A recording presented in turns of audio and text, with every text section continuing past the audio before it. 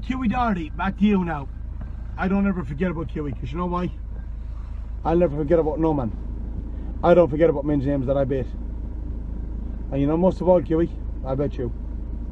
But what I am writing this into you, Kiwi, is if you're as game as me, accept the challenge and dates and times that I'm going to say to you in January.